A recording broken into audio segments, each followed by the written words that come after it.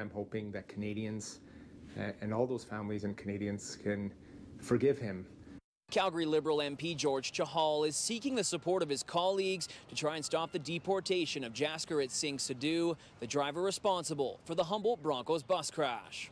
Chahal had the chance to meet with Sidhu, his wife, and their child. He says if Sidhu is deported, it would have serious implications for the family. His wife is a Canadian citizen, a registered nurse, um, and their young child has significant um, health care issues, um, a heart and a lung, uh, which requires uh, neonatal care.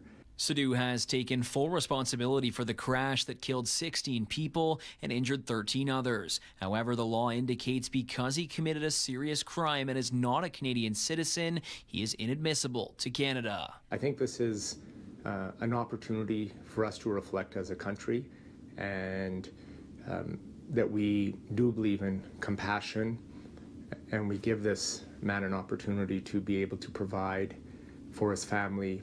The Liberal MP says he plans on traveling across Canada in an effort to generate support for Sidhu, but Chahal admits he has received mixed reaction. Many have told me that um, he has served his time and he should be here with his family.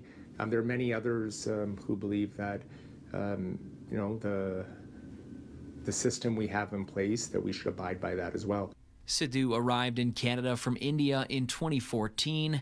In 2019, he pleaded guilty to over two dozen dangerous driving offenses and was handed an eight year sentence. He was granted full parole last year. In Calgary, Jayden Wasney, City News.